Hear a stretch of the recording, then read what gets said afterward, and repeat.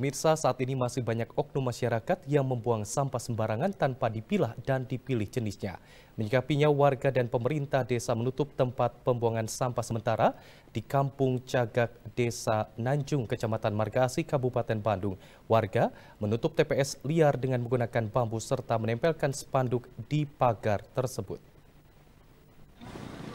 Puluhan warga kampung Cagak RW 3 Desa Nanjung, Kecamatan Marga Asih, dan pemerintah Desa Nanjung menutup tempat pembuangan sampah liar.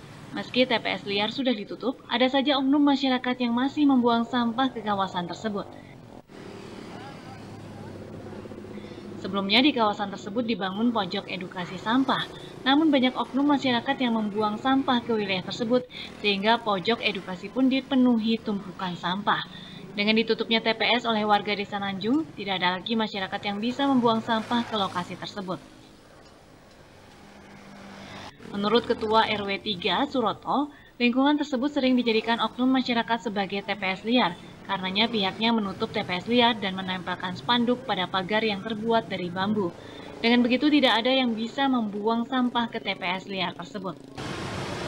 Karena ini warga di sini sudah merasa jenuh, sudah merasa eh, lingkungannya tercemar, bau ini bau itu. Saya pakai ini supaya mereka-mereka sadar dan melihat ini kan dikarenakan bukan orang sini yang membuang sampahnya di sini, ada dari luar. Nah, warga RW 3 khususnya punya inisiatif nutup ini. Semoga yang membaca ini, yang mau membuang sampah ke sini, ada kesadaran. Hal senada diungkapkan Kepala Desa Nanjung, Dian Irawan. Diperlukan kesadaran dari masyarakat dan pemerintah untuk menerapkan kebersihan dan pemilahan sampah.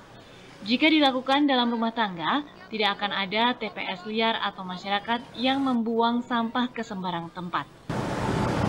Dia berbagai aspek. Satu, yang nomor satu kan kesadaran masyarakat di, di dari Kabupaten Bandung masih belum masih belum masih belum tinggi.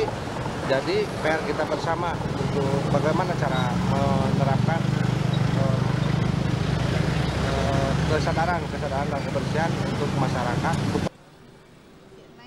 Pihaknya berharap masyarakat tidak lagi membuang sampah ke lokasi tersebut. Pasalnya, warga sudah jengah dengan keberadaan TPS liar karena sangat mengotori lingkungan serta merusak estetika keindahan di bahu Jalan Raya Nanjung Soreang. Rezitia Prasaja, Bandung TV.